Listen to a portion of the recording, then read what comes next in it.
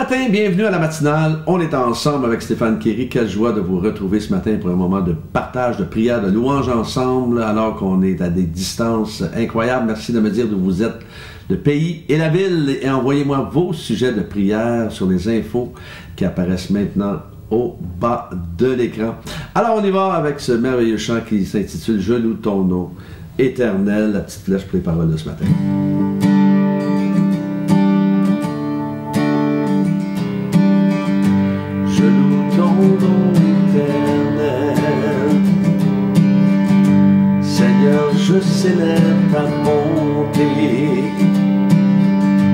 Quelle joie tu vis en moi. Quelle joie tu viens pour nous sauver. Tu viens du ciel sur la terre, montrer la voie de la terre à la croix, payer pour moi de la croix jusqu'au tombeau et du tombeau jusqu'au ciel. Je loue ton nom éternel.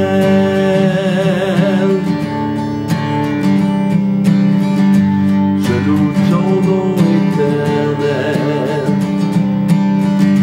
Seigneur, je célèbre ta bonté. Quelle joie tu vis en moi. Quelle joie tu viens pour nous Tu viens du ciel sur la terre, montrer la voie de la terre à la croix, payer pour moi de la croix jusqu'au tombeau et du tombeau jusqu'au ciel. Je loue ton nom éternel.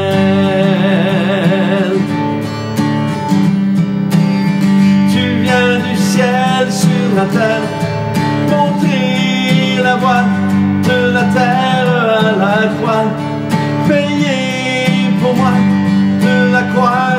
tombeau et du tombeau jusqu'au ciel. Je loue ton nom éternel.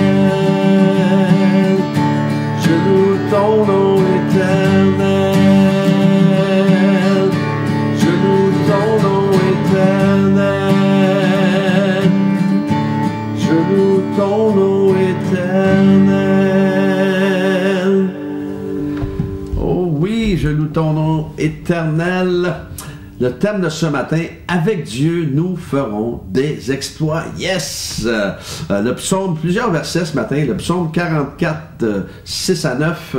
Grâce à toi, nous renversons nos ennemis. Grâce à ton nom, nous écrasons nos adversaires, car ce n'est pas en mon arc que je me confie, ce n'est pas en mon épée qui me sauvera, mais c'est toi qui nous délivre de nos ennemis et qui fait rougir euh, de honte ceux qui nous détestent. Nous chantons la louange de Dieu chaque jour et nous célébrons éternellement ton nom. Yes! Ce n'est pas mon épée qui me sauvera, mais c'est toi qui nous délivre de, cette pandémie, euh, de nos ennemis. on y va, on continue. Oh yes! Intéressant ce verset. Euh, ce matin alors qu'il nous rappelle que nous devrions même nous vanter de sa grandeur, nous vanter de sa splendeur et, de sa magnificence. Et, et il n'y a rien de plus euh, bénéfique pour vous et moi que de passer du temps à louer Dieu, et ce, même si nous sommes dans la vallée ce matin, dans une vallée sombre ce matin, nous, nous pouvons louer n'importe où, nous pouvons louer n'importe quand, et nous pouvons louer dans, n'importe quelle situation, et nous le louons quand, quand ça va bien, nous le louons quand ça va mal, et nous le louons lorsqu'on est malade, nous le louons dans l'abondance comme dans la disette on le loue. Et l'apôtre Paul euh, disait, réjouissez-vous toujours dans Philippiens 4.4, réjouissez-vous toujours dans le Seigneur en tout temps. Je dis encore, réjouissez-vous, surtout que l'apôtre Paul écrit cela enchaîné en prison. Alors le psalmiste disait, réjouissez-vous dans le Seigneur, vous les justes, et rendez grâce au souvenir de sa sainteté dans le psaume 97.12. Lorsqu'il y a euh, de l'adversité ou que nous semblons perdre le contrôle d'une situation, avons-nous essayé de nous retirer dans un lieu tranquille de notre maison ou appartement pour louer Dieu malgré tout? Chanter la louange de Dieu chaque jour et célébrer son nom, ce n'est pas juste quand, quand tout baigne, comme disent mes amis français, quand tout va bien. Dieu accomplit des exploits lorsque nous prenons le temps pour lui malgré tout. Dieu va accomplir des exploits. Comprenons que les plans de l'homme ne vont pas euh, nous ouvrir le ciel ou les portes du ciel, alors que Jésus nous dit, venez à moi, vous tous, euh, pas quelques-uns, vous tous qui êtes fatigués et courbés et sous un fardeau, et je vous donnerai du repos dans Matthieu 11, 28 ça dit dans le psaume 64, 60, verset 14, avec Dieu, nous ferons des exploits. C'est lui qui écrasera nos adversaires. Encore, nous ferons des exploits. Dans le psaume 22, 3, n'oublions jamais qu'il siège au milieu des louanges. Et je veux vous encourager euh, ce matin à lire au complet le psaume 44 où vous allez découvrir qu'en dépit de sa foi et son obéissance, Israël a été vaincu. Euh, et le psalmiste ne comprend, euh, il comprend pas trop pourquoi Dieu a permis cela. Mais malgré tout, il s'appuie, le psalmiste s'appuie sur Dieu parce qu'il est convaincu, lorsque vous allez lire ce texte-là, il est convaincu, le psalmiste, que Dieu demeure en contrôle de la situation. Cela ne nous rappelle-t-il pas euh, Jésus qui dort dans la barque alors que les disciples sont paniqués euh, sur cette mer agitée? Et, lorsqu'on dit oui, on parle du, lac de Tibériade, mais c'est une vraie mer, ce, lac, c'est immense. Nous savons que ce qui est arrivé, Jésus a calmé la tempête. Il a calmé la tempête. Alors saisissons que grâce à Jésus et malgré ce que nous voyons, malgré ce que nous entendons, nous ferons quand même des exploits en son nom. Grâce à Jésus, nous renverserons nos ennemis et nous écraserons nos adversaires. Possible aujourd'hui que vous vous posiez des questions alors que votre relation avec Dieu est bonne, euh, que vous prenez le temps avec lui tous les jours?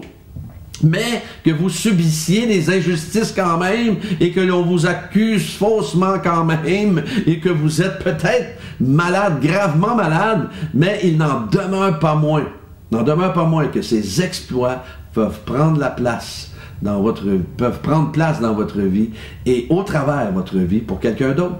Et je prie que Dieu euh, nous transporte, vous transporte là où vous ne vous attendiez pas pour une vie comblée en lui au-delà de vos attentes. Oui, peut-être qu'il y a des choses qui, qui brassent dans votre vie et vous vous demandez pourquoi, pourquoi euh, que je vis cela.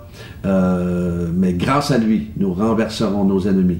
Grâce à lui, nous renverserons cette pandémie, croyez-vous? Et euh, oui, on ne va pas se fier sur nos capacités. On, a juste prouvé qu'on n'est pas capable de rien faire de nous-mêmes et qu'on est pris avec ce que nous vivons en ce moment. Et moi, je crois que Dieu seul peut nous sortir de là et peut faire euh, vraiment un miracle extraordinaire. Croyez-vous ce matin?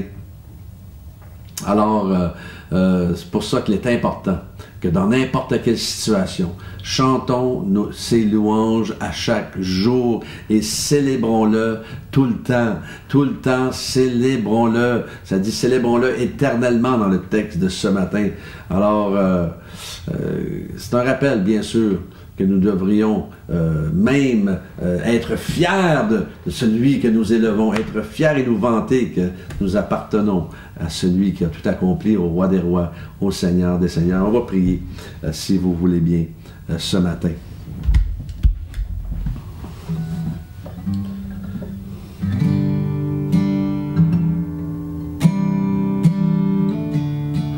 Seigneur, nous prions pour Maria et Maximilien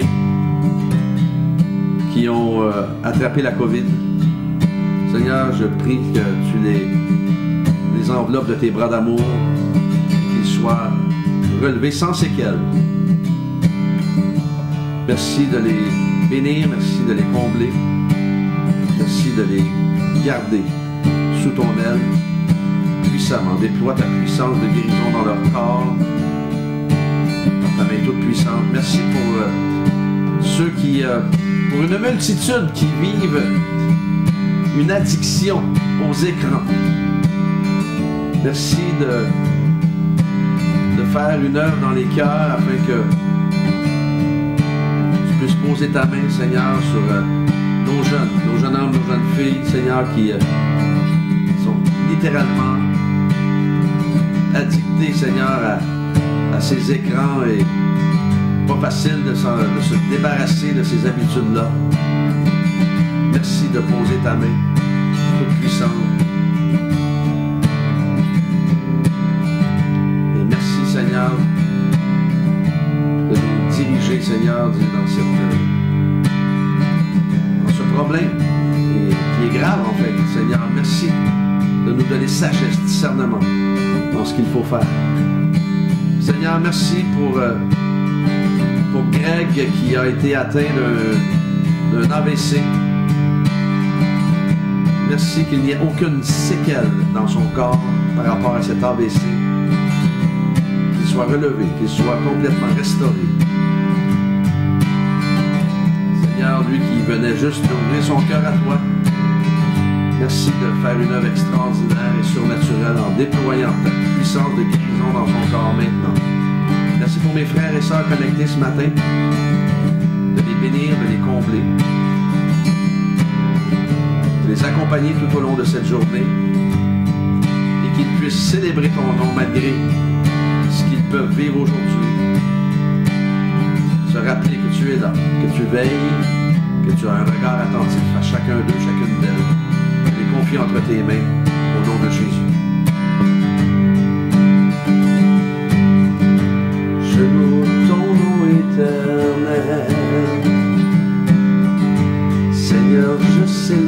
Ta bonté. Quelle joie tu vis en moi. Quelle joie tu viens pour nous sauver. Tu viens du ciel sur la terre, montrer la voie de la terre à la croix. Veillez pour moi de la croix jusqu'au tombeau et du tombeau jusqu'au ciel. Je loue ton nom éternel. Je loue ton éternel.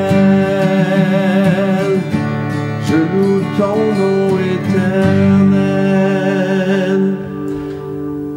Soyez bénis en cette journée, que Dieu vous accompagne. Demain matin, Dieu voulant, euh, on est ensemble. N'oubliez pas de partager ces moments. Que Dieu vous bénisse. Bonne journée. Saviez-vous que le Liban est le pays du Moyen-Orient où il y a énormément de chrétiens? Et je veux vous encourager à poser un geste de générosité afin de venir en aide à nos frères et sœurs là-bas qui ont tout perdu.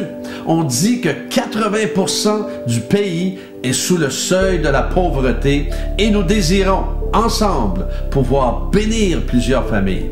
Alors n'hésitez pas à faire un don en allant sur le, lien qui apparaît à votre écran maintenant, en cliquant sur unverdo.com et ensemble, nous allons faire la différence.